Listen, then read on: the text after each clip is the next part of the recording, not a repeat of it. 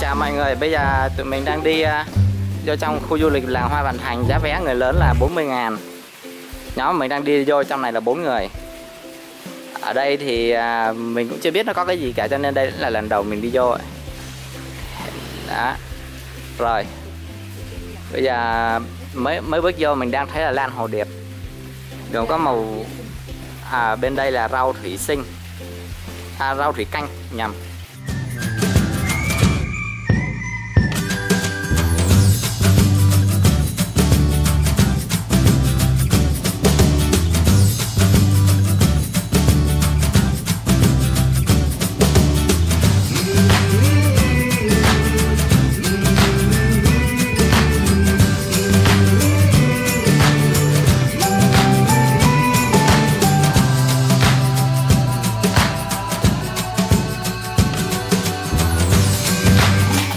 Lavender. Lavender khô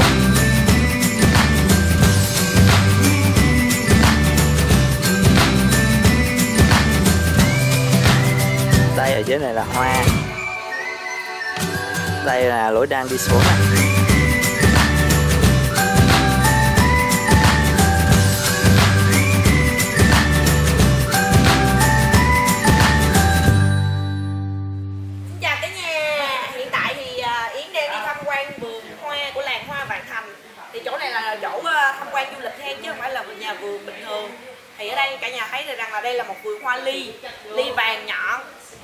Là đều và rất là đẹp hen Đó, Giá vé vô cổng là 40 nghìn.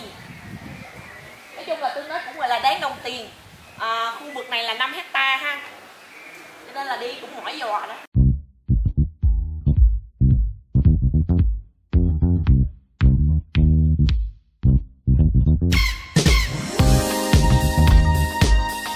Muốn tham quan dạ hoa đồng tiền hồng môn hoa bất tử gì vậy Đấy, có bí khổng lồ đây nữa này. Nó có ghi này.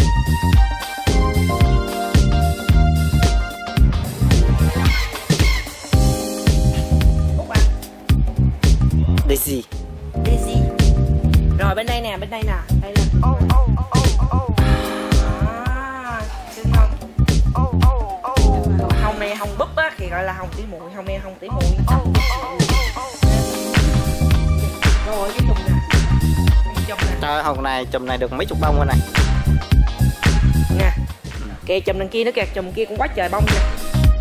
Lại đi lại quay gần cho mọi người coi. Đấy. Đây là bên đây nữa nè. Đi trong đây là toàn bộ là để nhà màng hết Cho nên là cũng không đến nỗi quá nắng nha Ờ, Thời gian à, tham quan hợp lý là trước 10 giờ Thì sau 10 giờ khá là nóng Và sau khoảng 3 giờ chiều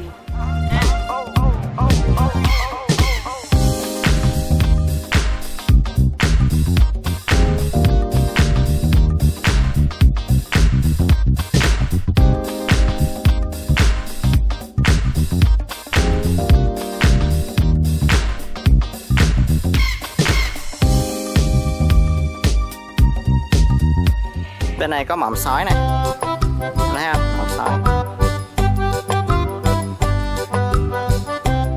Mỏm sói vàng kết hợp với lại là hoa mỏm sói song hỷ này. Đó.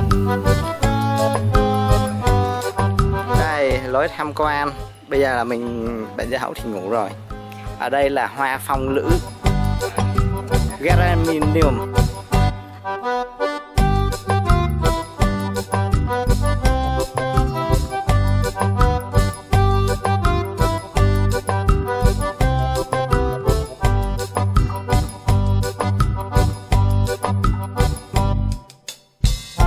Bách tự này. Hello, thì đây là hoa mỏng sói ha.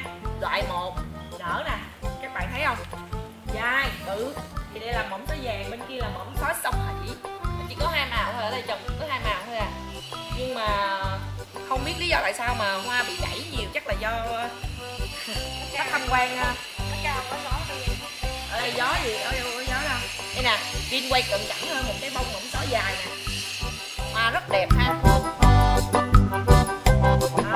Cả gan tay. Tuyệt vời.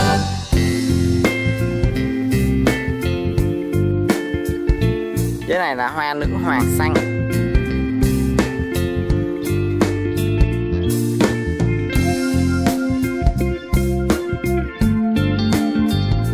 Yến đang selfie ầm ầm ầm ầm luôn. Ví với mọi người đây là hoa lồng đèn. Mọi người thấy cưng không? Cưng lắm nè nó nở lên nó nở lên nè. Đó. Nhìn nó giống cái lồng đèn không? À cái này mà mấy bạn nữ mà nít nít á thiếu chơi thích chơi á thì ngắt cái chỗ này nè. Đeo lên lỗ tai.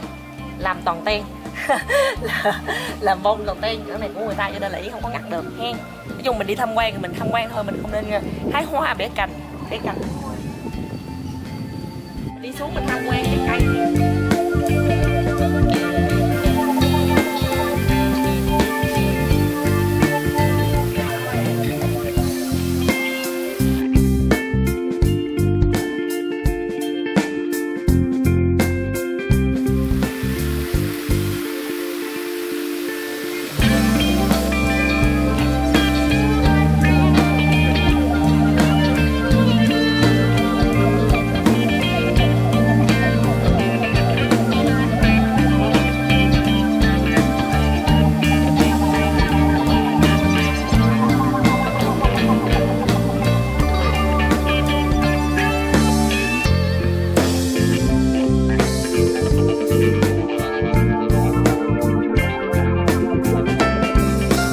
đây là quả bí khổng lồ. To chắc nặng hơn dấu bốn năm lần gì đấy. Khá là to. Thì đây nó cũng là khổng lồ rồi nó được uh, yên vị trên những bánh xe.